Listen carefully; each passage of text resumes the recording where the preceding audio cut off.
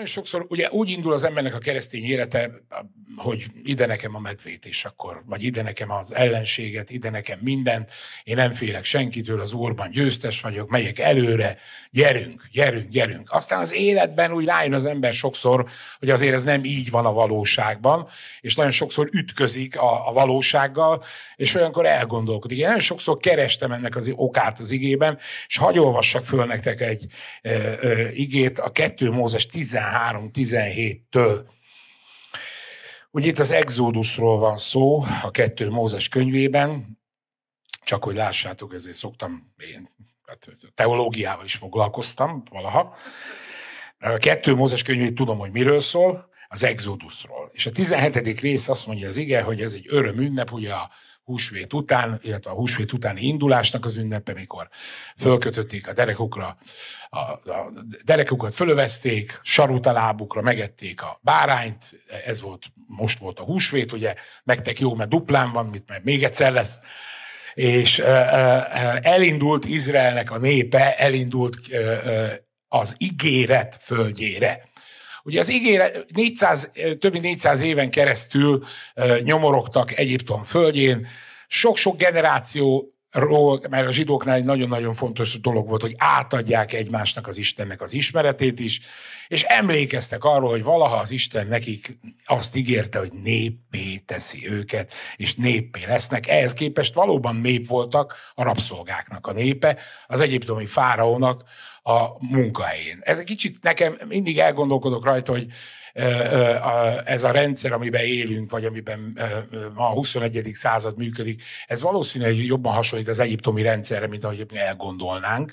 És mi is sokszor úgy érzem, én is úgy a napok miatt, meg a munka miatt, hogy mintha egy ilyen sziszifuszi munka lenne, aminek sosincs eleje, sosincs vége, de másnap mindig elkezdődik. És az ember elgondolkodtam rajta, hogy ezek, ezek az emberek a biztosból keltek útra, és elindultak, és azt mondja itt az Istennek az igéje, és lőn, mikor elbocsájta a fáraó a népet, nem vivé őket Isten a filiszteusok földje felé, noha közel van az, mert mondta az Isten, ne talán más gondol a nép, ha harcot lát és visszatér Egyiptomba.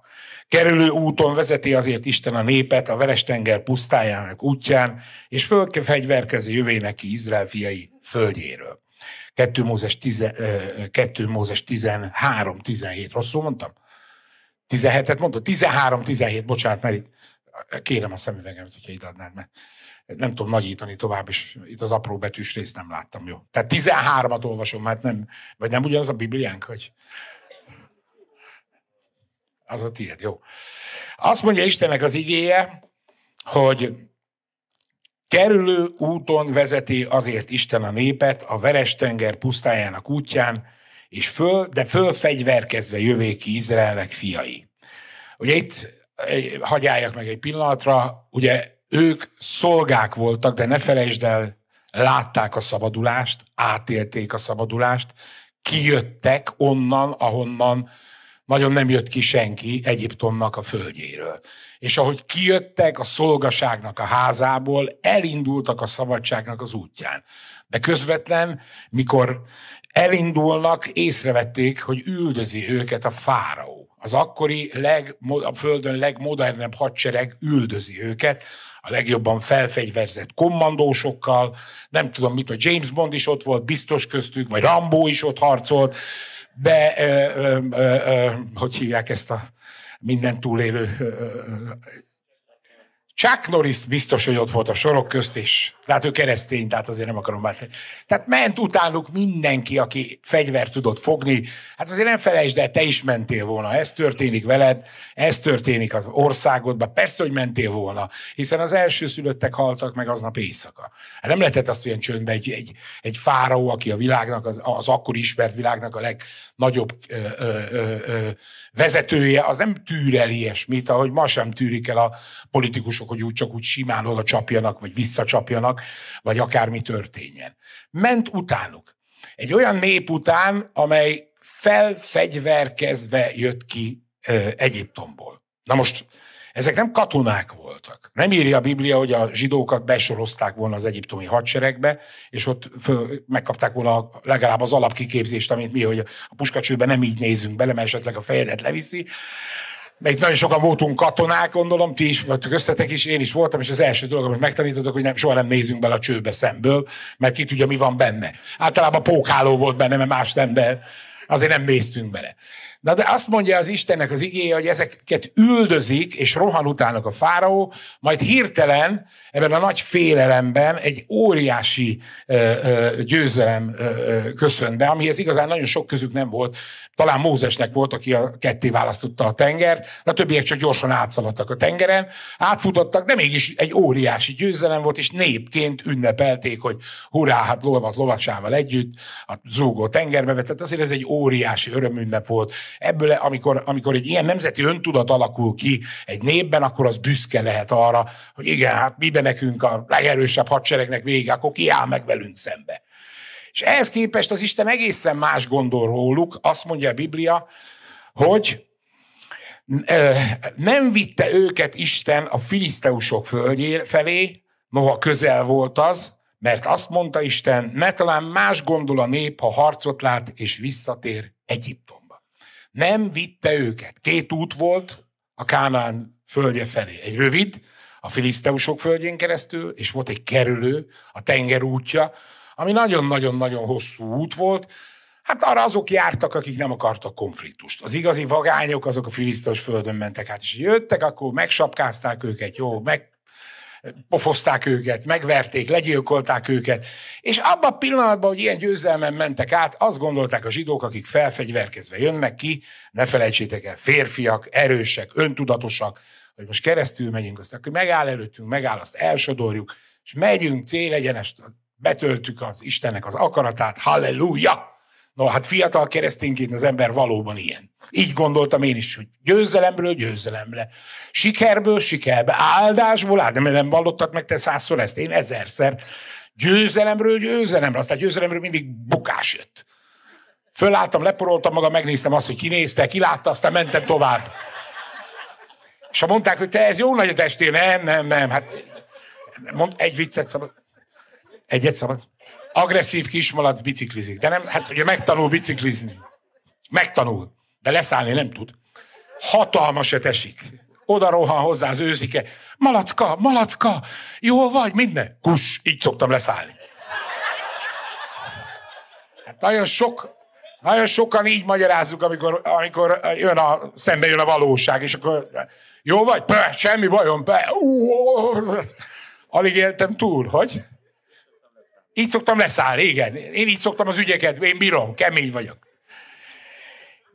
De Isten látta, hogy ez a nép nem kemény. Ugyanígy tudja rólad és rólam, hogy, hogy nem vagyunk mi olyan kemény gyerekek.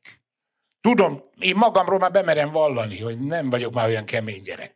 De itt a sok fiatalat, mi van, ember? Mi van? Akarod, hogy anyád feketébe járjon, te?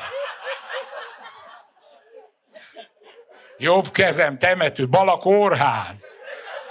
Hát az élet, az élet elmondanám, hogy ilyen helyzetekből adódik össze.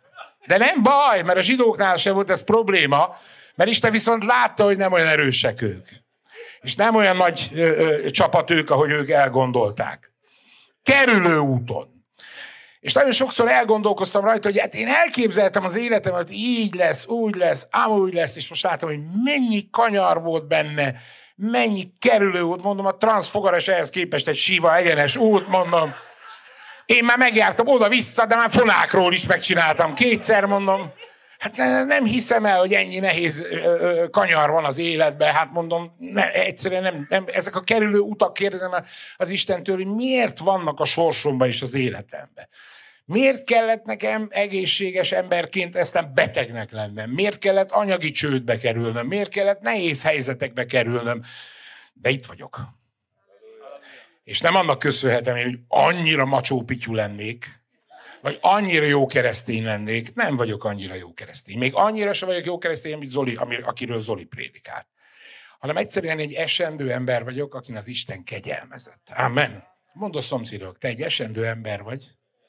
Ne hogy ezt nem akarlak megbántani, de hála az Istennek, neked is, meg nekem is kegyelmezett. Amen.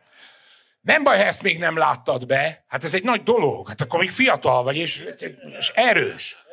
Csináld, ember, ha bírod, hát csináld, hát hogy Lelked rajta, hát ha bírod, nyomjad. Így van. De azt mondja Istennek az igéje, hogy Isten úgy gondolta, hogy jobb lesz a kerülő út. Jobb lesz. Honnan tudjuk ezt? Hát onnan, hogy azt mondja a Biblia, figyeld meg, hogy mit ír itt, Isten igéje, hogy ugye Mózes elvitte magával József tetemeit is, mert megeskedvén megeskedte vele Izrael fiai, fiait mondván, meglátogatván meglátogat titeket az Isten, tehát látod, az ígéretet tudták. Mert ha elfelejtették volna, hogy ki az a Józsi, bácsi, az öreg Józsi, ki volt, az öreg Jóska ki volt, akkor ott hagyták volna Egyiptomba. Ki volt ez? Nem tudom. Apát tudja? Kérdezik, mert apá ki volt? Nem tudom. Ki? Hát vigyük a sírját magunk. De hogy visszük, örülünk, ha szaladni tudunk mi. De nem feledkeztek el róla, mert azt mondja az ige, hogy vitték, hiszen azt mondta nekik József, azt ígérte, hogy az Úr meglátogatván meg. Szeretném odafordulni a szomszédot, és ezt itt tanultam Sándortól, ezért amikor máshol prédikálok, akkor mindig azt mondják rá, hogy mi a amerikai, majd mondsz amerikai. Nem amerikai, itt mondom.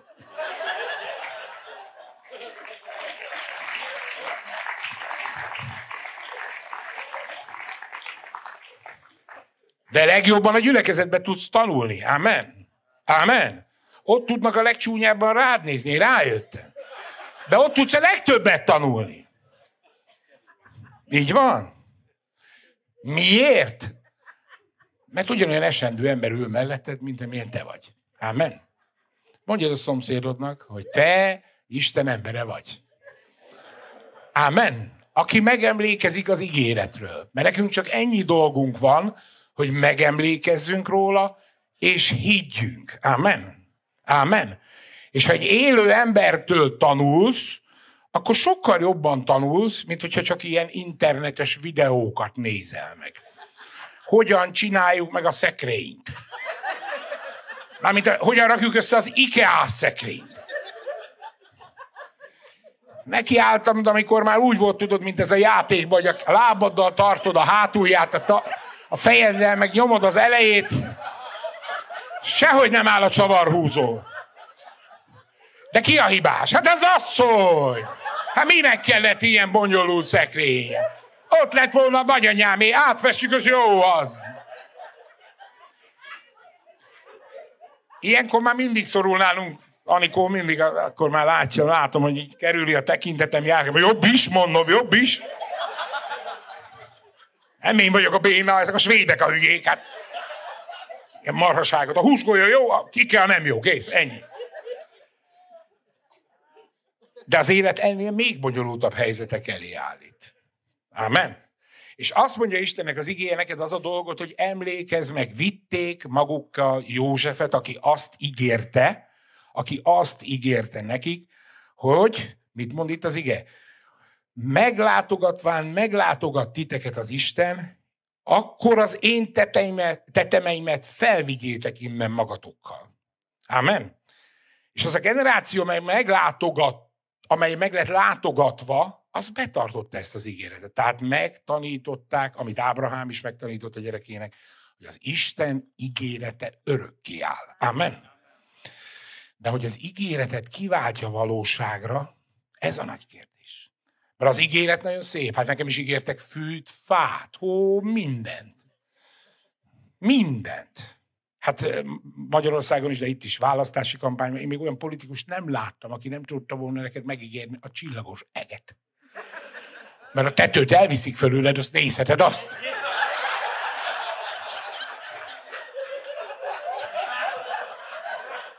Nem? Ilyen meghívják, olyannak, ilyen kitűzője van, olyan... Ö, ö, én csak úgy vagyok, mint a borjú az új kapuval. Nézem, nézem, de nem akarom mögismerni. Szeretném kerülni de annyi évbe. Mert azt mondja Istennek az igéje itt, hogy az ígéret akkor válik valóvá, amikor te találkozol az ígérettel, és hiszel annak, aki az ígéretet tette. Amen. Amen. Tudsz rá mondani? Nagyon fontos, hogy ezt megtanuld, mert lehet, hogy hagyhatsz a gyerekeidre vagyont. Adja meg az Isten. Mondja a szomszédok. Adja meg az Isten. Házakat, autókat. Mondhatják marhát, tyúkot, tehenet, de arra nem vagy kíváncsi, a blogba nem tudod fölvinni. Érted? Tehát adja meg az Isten, hogy ezt adjuk át. De a legtöbb, amit adsz a gyermekednek az, hogy az ígéret tevő soha nem hazudott. Aki azt ígérte, hogy eljön, el fog jönni. Amen. És elvisz magával minket. Vagy ha nem, akkor a következő körbe kicsit nehezebb lesz bekerülni, de rákerülünk arra is. De az Isten igéje azt állítja, és azt mondja, hogy ezek a zsidók elhitték, és fogták az öreg Józsefnek a tetemeit, és vitték magukkal. Nem volt ez szentségtelen dolog. Hát minden nép tiszteli a, a hőseit, minden nép tiszteli azokat, ha meg nem, akkor utólag írják a történelemben. Nagy dolog. Tegnap még Trotsky ott volt a képen Stálin mellett, már csak Stálin mondott. Ennyi.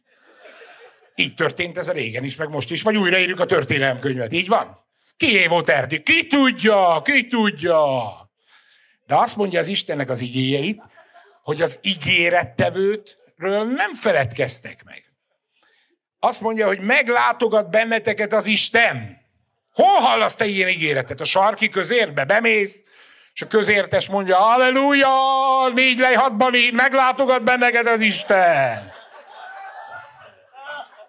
Kocsmába hallasz ilyet? Bémész, egy decit.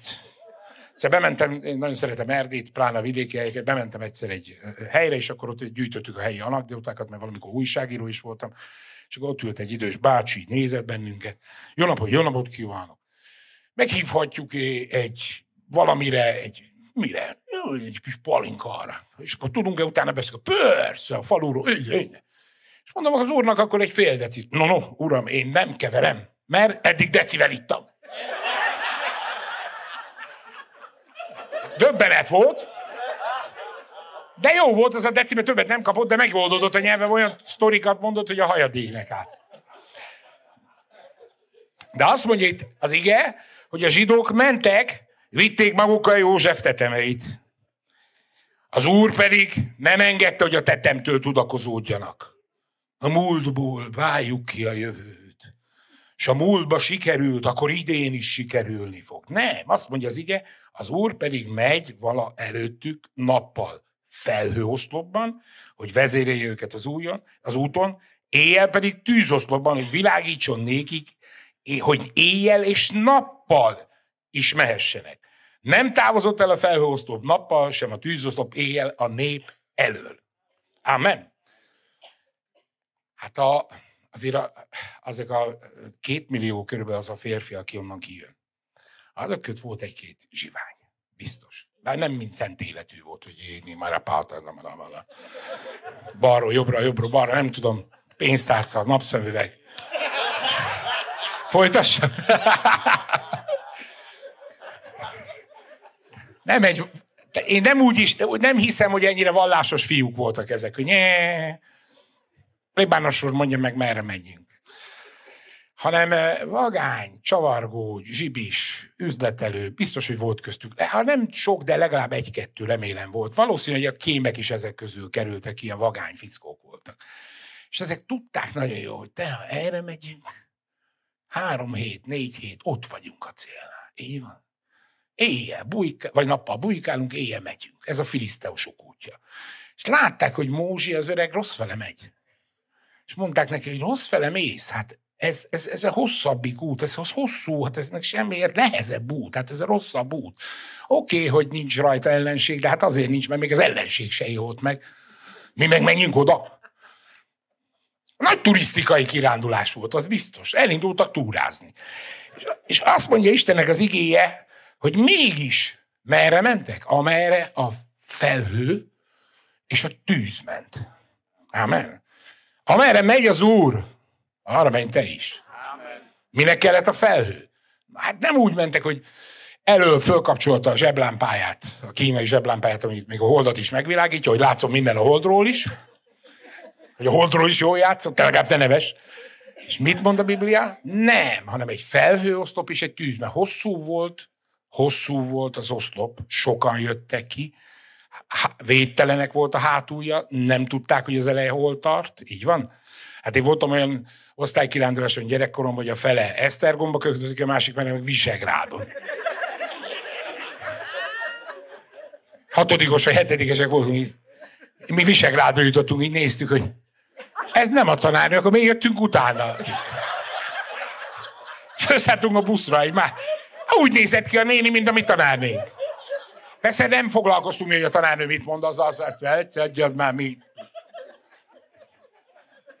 És hát gondolj bele, ha ki a végén ment. Ezt jönni a sziklánába arra? Vagy jobbra? Pláne éjszaka, gondolom, nem volt ott Incsucsuna, meg Vinettú, meg a többi, ha, ha, meg az afrikaiak, hogy egy beleszívott, és megyből mondta, hogy merre kell fordulni. Tudták, hogy merre kell menni.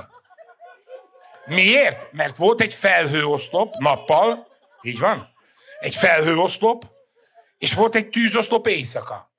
És Isten még csak azt a humor se csinálta meg velük, hogy éjszaka lett volna a füst, és nappal a tűz. Még ez is belefért volna az úrnak a humorérzékébe. Akkor mentek volna füsszag után, grilleznek.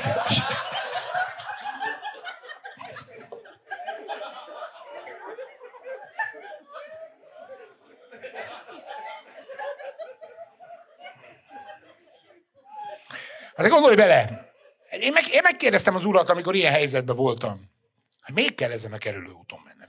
Miért kellett nekem több évet betegnek lennem? De nem voltam rest, mert eljutottam addig a pontig, hogy nem udvariaskodok, hogy igenis, uram, legyen, ahogy takarod, ámen, mint a mennyben, úgy a föld, ámen, ámen. Én bizony kemény vészakákat töltöttem úgy, hogy az Istennel vitatkoztam. Majdnem úgy voltam vele, mint Jákob. Vagy uh, igen, Jákob, a jabbók révénél. Hát mondom, oda jött volna, úgy megkapom.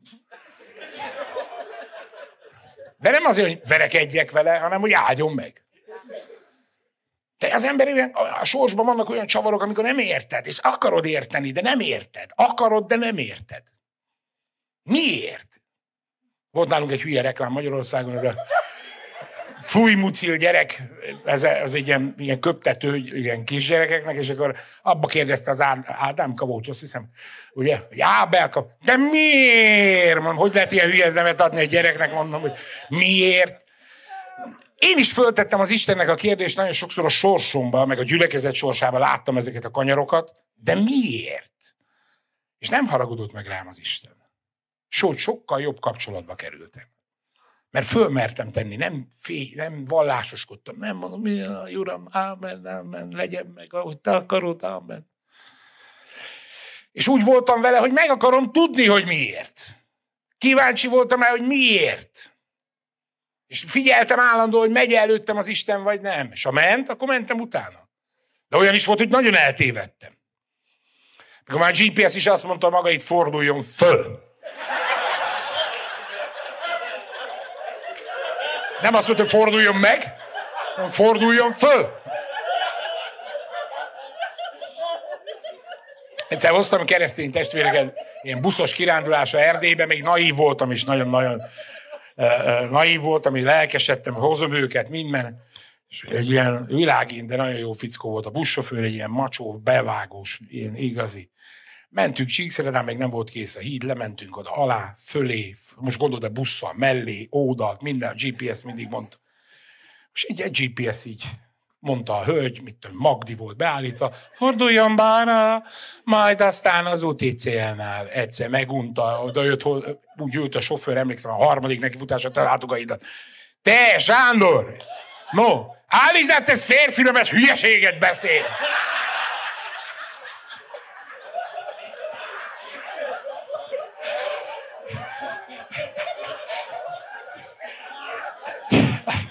Ugye tudta, hogy gyülekezeti tagok ülnek, mégsem káromkodhatott egy csúnyát, csak ennyit mondott neki.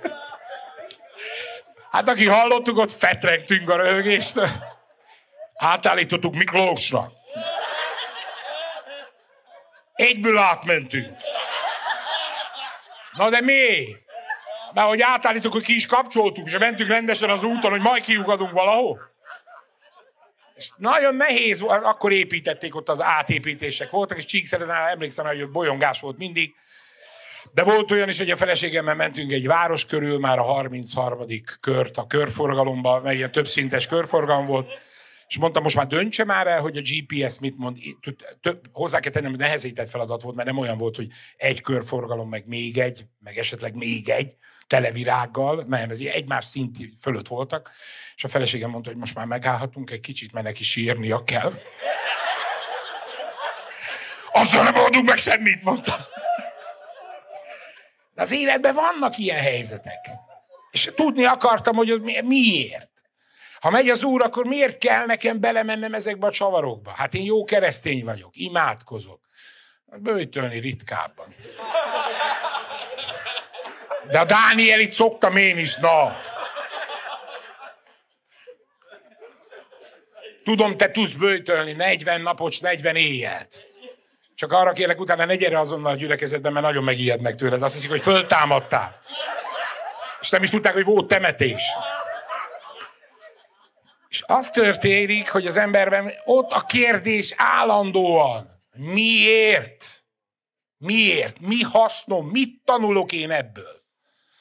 Ugye nagyon fontos azt látni, hogy a könyvnek a népe, a, a, a zsidóság az a tanulásnak, a betűnek a népe, és a mai napig is nagyon sok zsidó barátom van, és mondják nekem, hogy, hogy ők nem akarnak kétkezi munkát végezni, ők a fejükkel dolgoznak. És érdekes, hogy teljesen igazuk van. Képesek tanulni, tanulni, és a tanulással egy olyan pozíciót tudnak elfoglalni, amit mi nem értünk soha meg. Én is megtanultam az Isten beszédéből, hogy az Isten igét nem azért kell megtanulni, hogy én okosabb legyek, hogy amikor hogy kihagytál Sándor egyé betűte, Ottan kihagyott a pásztor, nagyot hibázott, mert ott nem jó sorrendben olvasta. Igaz, hogy kenet alatt volt, azt sem tudta, mit olvas, de az egy más kérdés, de kihagyta. És írják a levelet, meg nekem is mondták sokszor, amikor beszéltem valamiről igéről, akkor fölállt egy nagyon buzgó, más felekezetből jött testvér, fölállt egy nagy bőrkötésű bibliájával, berázta, erről beszélj pontosan. Hát ilyen vidám volt a hangulat. Na, utána nem volt. Mert én azt mondtam, hogy jó. Remélem, hogy nincs senkinek ilyen nagy bibliája, mert azt tegye a pad gyorsan, vagy a szék alá. Tehát azt mondja Istennek az igéjeit, hogy két tanulsága is volt, de lehet, hogy te többet is le tudsz benne, belőle vonni. De azt, hát ugye ne felejtsd, egy fegyverez, föl voltak fegyverezve, egy férfi, amikor fegyvert kap ember. Hát ne tudd meg. Egy bicska, kés. Mentünk túrázni Erdélybe, mindig bicska, balta, kés faragták a nagy botokat. Mondom, ti mire készültök? Verekedni? Mondom, hogy hát ne, ha jön valaki, vagy, te ki jön, mondom. Ja, medve, hát annak aztán annyit érsz, amennyit izé. Ezt is, e, e, e, tehát az ember, az ember úgy érzi magát, hogy aztán mindent, mindent le tud győzni. De mégse engedte őket Isten harcolni. Mégse engedte az önbecsülésüken, és általában, amikor bajba vagy, akkor mindig az önbecsülésed. Hát én nem ezt gondoltam, én ezt nem így terveztem. Miért engedi az Isten ezt? Miért? Miért? Mi kiestem, én is azt figyeltem, hogy kiestem a gyümölcs a kosárból. Nem figyelt rám az Úr, eltűntem, elvesztem, bűnt követtem el, jaj, mea culpa, mea culpa, maxima mea culpa, vakartam a fejem, mint jobb. Nem cseréppel, hanem kézzel mindent végig gondoltam, hol, merre, mit, mit, hogy, mind, gyötrődsz, örlődsz, hogy mit tettem, hogy ez rám jött. Én azt megtanultam, ok okozat. Csak egyet felejtettem, hogy Jézus mondta sokszor, hogy nem, nem ok okozat, hanem hogy az Isten dicsősége nyilvánvalóvá váljon. A gyógyulás nagyon sokszor nem volt ok okozat, ki bűnözött.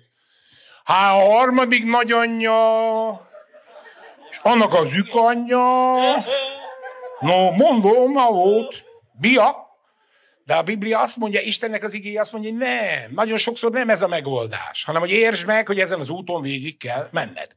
Miért? Egyrészt azért, mert jobban hozzászoksz az Istenhez. Ezen a, ez, ezekben a helyzetekben felettébb nem enged az Úr kísért, kísérteni. Mondjad a szomszédok, bárki van most közületek, vagy mondjad, hogy bárki, bármilyen bajjal ül itt, van erőd megoldani. Van erőd. De ha nincs, fölemeled a kezed és kérsz. Így egyszerű. Ámen. Nem türelmet, mert az hiba. A türelem az nem kell ehhez. Erő kell, hogy a helyzetet megold. És azt mondja itt Istennek az igéje, hogy azért kellett ezen a hosszú kerülő úton menni, hogy mindenki tisztázza, hogy milyen viszonyban vagyunk az Istennel hogy mit várok el tőletek, ezért mit adok. Amen. Ez egy gyors talpalon, úgy, hogy megáldalak, végigfutok a Biblia iskolán, végigfutok, mi áldott ember vagyok, ebből nem jön ki semmi. Gyakorlatban kell kipróbálni a tudást. Amen. Amen. Ugye van Magyarországon egy nagyon híres humorista volt, Hofi, neki volt az egyik nagy mondása, hogy tudjátok, van egy ilyen szennyvízszerelő, aki az aknába but, but, but, but, lemegy, a dugulás kiszedi, but, but, but, but. Na, és van neki egy tanonca, nagy nehezen fölvesz egy tanoncot, és akkor mondja neki a tanoncnak, hogy na, fiam, most kimegyünk egy nagy aknához, tele van mindennel, emberi ürülékkel, vizelettel, mindennel, majd megoldjuk, mert nagyon nem megy le, de mi meg tudjuk oldani. Jó, hát gyere, kimegy, ú, majd elájul, olyan szag van, az öreg beugrik, lemegy az aljára, ott motoz egy darabig, följön, megtöröli. A gyerek így nézi, 17-es kulcs, ő, mester, odaadja. Bugy, bugy, bugy, bugy, megint le. Öt perc van föl. Ah, ez még rosszabb, azt Francia kulcsot, odaadj. Bugy, bugy, bugy, bugy, bugy. Megint följön három perc múlva. Csavarhúzót, kalapácsot, ez máshogy nem fog menni. Gyerek, megint oldja adja neki, már gyerek majd elállul a szaktól, a mester följön egyszer, ezt mondja, no, az figyelsz egy gyermek, vagy egész életedben a szerszámot akarod adogatni? Szóval le kell menni a bugyrokba sokszor. Le. Voltál már bugyorba? Kérdezd meg a szomszéd, hogy most vagy? Érdekes, nincs szakod, mondja. Tehát az ige azt mondja, Istennek az igéje azt mondja, hogy meg akarta ismerni az Úr az övéit, és nagyon fontos volt, hogy ők is megismerjék, hogy kicsoda az Isten, mit ígért, és mit adott. Nem lehet máshogy. És amit megtanultak elméletben, azt rögtön gyakorlatban kellett alkalmazni. A másik nagyon fontos, és ne hagyd ne húzzam, nem akarom itt húzni az, az, az időt vele, a másik az, hogy néppé váltak. És a néppé válás ugye az olyan ö, ö, társadalomtudományi, szociológiai fogalom, hogy nép, nemzet. Ezzel annyit dobálóztak az elmúlt évtizedekben, évszázadokban, most is dobálóznak, gurigáznak, hogy nép, nemzet. A nép kiből áll? Belőled, meg belőlem. Amen. Így van. Mi vagyunk a nép. Így van? Nem királyok, mi vagyunk a nép. Mi vagyunk a, a sak játszmába a, a, a parasztok, akik a legtöbben vannak. Két kicsit foglalkozik, én nagyon sokáig volt a politikai újságíró, én már nem ámítom magam, hogy én legalább egy futó lennék, vagy, vagy ló. Hát ha futó lennék egy ló, akkor már nem ülnék itten, hát akkor, akkor már élvezném a futásomnak az eredményét. De azt mondja Istennek az igéje, a nép egyénekből áll. És a nép meg egyé kellett kovácsolódni. Egymásra voltak kicsik, nagyok, fiatalok, öregek, tanultak, tanulatlanok, harcosok, öregnénik, fiatal hölgyek, mindenki egymásra volt utalva. Egymást kellett hordozniuk. Egymást kellett vinni. Én nagyon az, azon, azon, ahogy itt Sándor imádkozott, az jutott eszembe, hogy milyen csodálatos az, hogy, hogy van az Istennek népe, amely elviseli egymást. De nagyon sokszor nagyon nehéz az embereket elviselni. Ezt a világban könnyen megoldják, mert ennyi, ahova akarsz. Így van? Egy, egy keresztény nem mondhat ilyet, hogy én amíg te, amíg a Miklós itt van, én nem jövök. Itt voltál végig? Nem, nem azért nem jöttem. Addig én nem jövök. Tehát egymásra kell támaszkodnunk, népé kell válni. Mert a, a, a, a, a kijövetel, aki véghez vitte, az nem nép volt. Az egy nagy tömeg volt. És a népi akkor válik, akkor válik egy, egy, egy tömeg, hogyha egy célja van. Legalább egy dologban meg tudnak egyezni. Nem abban, hogy milyen színű legyen a zászló, az is nagyon fontos azért, milyen színű a zászló, de nem ebben hanem abban kell megegyezni, hogy kit követünk. Ki az, aki után mi megyünk. Amen. Ha semmi másban nem értesz egyet a mögötted ülővel, hogy nem mindig a melletted ülőt mondjam, akkor ebben az egyben egybe kell. Kérdezd meg, te, te miért jöttél ide? Kit követsz? És azt mondja, hogy téged, akkor tudjad, hogy a szekuritáte küldte. Nem, ember. Abban, akkor válik népé egy gyülekezet, ha tudja, hogy mindent Jézus Krisztusért teszünk. Amen. Jézus Krisztusért engedem meg neked, hogy ezt tedd. Máskülönben kapnál érte. De mivel Krisztusban vagyok, áh, egye kavics, megengedem. Krisztusért, amen. És akkor válik igazán erőssé egy gyülekezet, hogyha ha megegyezik ebben, hogy a Krisztusért még hajlandó vagyok veszteséget is szenvedni.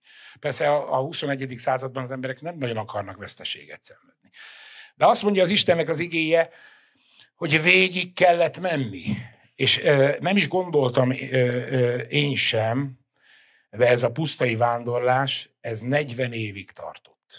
40 évig. Én már nagyon várom, hogy 40 éves keresztény legyek. Kitalálok a pusztából, vagy nem. Már voltam mindenütt. Megjártam a színpusztáját, páránt, cint, cinkeltem, mindent csináltam. Voltam sóba, vízbe, füröztöttek, tejbe, vajba nem még, azt várom nagyon. De nem akarok úgy jázni, mint az öreg Mózes, hogy csak látom az ígéret földjét, és nem megyek be oda. Hanem azt szeretném, hogy az Isten még közelebb engedjen magához. Amen. És ez viszont nem megy gyülekezeti szinten, hogy eljössz az Isten tiszteletre, és egy héten egyszer, halleluja, megtanulod a szakrális kifejezéseket. Praise the Lord. Jesus, hallelujah. Brother, sister. Meg minden kifejezés megtanulsz. Ez nem, ez nem, ez kevés. Ez, ez az kell, hogy otthon te beszélgess az Istennel. Otthon az Istentől kérdezd meg, hogy miért kellett a sorsomba ez a én volt úgy, hogy kiabáltam. Miért kellett ez? Minek engedted ezt meg? Minek hoztál bele? Nem kaptam egy tockos se. Apámmal így beszéltem, már csattant a füles. És én megengedtem magamnak, hogy kiabáltam az Isten. Miért kellett ez a sorsomba? Mit, mit tettem, hogy ez miért? Mondd meg, mutasd meg, mert értelmes ember vagyok, hát te adtál eszet. Ámen. Ámen. Megtanítottál gondolkodni, írni, olvasni, érteni, szöveget értelmezni, ez már Kelet-Európában úgy hívják értelmiség. Így van? Amelyik meg tud ígérni is mellé, az már politikus. De ha ez nem megy, és ezt nem lehet a gyülekezetbe fölállsz, ordít, az rádugrik három ember, hogy kivisznek innen. Miért? Ezt otthon. Otthon. Vagy kinn a hegyen. Ott legfeljebb visszakér a pásztor. Mit akarsz te? Hát rád engedjem a kutyákat. Ez a hit. És én úgy gondolom, hogy az utolsó időkben ez nagyon fontos, hogy a személyes podgyászod legyen, a személyes életedben ott legyen. Amen. Nem közösségi szinten tudjuk a hitet megélni, hanem a saját sorsodban. Amen. És nem a más GPS adatait vizsgált, hogy hol járt, meg hol nem. Nem az a te dolgod, ti a sajátodat. Neked küldi a, az Android vagy az iOS küldi, hogy hol jártál. Merre jártál. Tudja a szíved, tudja a szellemet, tudja a belsőt, hogy hol jártál. Azt elemezd, azt gondold végig. És kérdez Istentől meg. Mert akkor erős és személyes hited lesz. Ebben az időben erre nagyon nagy szükség van. Ámen. Miklós, ha Jézus az, akkor szólj, mert add meg a számát, légy hogy lőd már. De a helyzet az, barátaim, hogy a zsidók is nem gondolták, de 40 év alatt kiváló néppé, olyan néppé váltak, amely a mai napig, ha el is vesztette az országát, de visszakapta. Ha elvesztette az identitását, de mindig visszanyerte. Ha el is vesztette az ígéretét, a vagyonát, mert hiszen velük nagyon sok minden történt akkor is visszanyerte. És az, van nekem egy nagyon jó barátom, nem, nem egy hívő zsidó, mert egyáltalán Jom Kipurko egy kicsit vakarózik, de más nem nagyon van. Meg, meg amikor, amikor tudja, hogy új év akkor kicsit összekapja magát, amúgy nem, egy nagyon laza fickó. Nem egy vallásos őrge. Ő azt szokta mondani, azért, mert mi vagyunk az ígéret népe. Mondom, azt hogy érted? Nekünk megígért az Isten. És ez bőven elég, azt mondja. Ez bőven elég, hogy az anyámat elvitték a gázkamarába, de visszajött. De ez bőven elég, hogy aztán találtam ugyanúgy egy holokauszt túlének a gyerekét, és családot alapítottunk. Ez bőven elég, azt mondja. Az ígéret az virágzik. Amen. És ez az ígéret a te személyes életedben is ott van. Amen. Amen. Amen. Hát, nagyon köszönöm, és elnézést kérek, hogyha valakit megbántottam, nem volt szándékom. semmilyen módon, de az jobb, ha nevettek, nagy öröm van bennetek, mert akkor jobban megragad az Istennek az igény. Én észrevettem, bubánatban, búsulásban nem lehet tanulni. Búsulásban keserűvé válik, aki tanul, örömben lehet tanulni, vidámságban. Ám ezért nem tanulnak a gyerekek semmit az iskolába.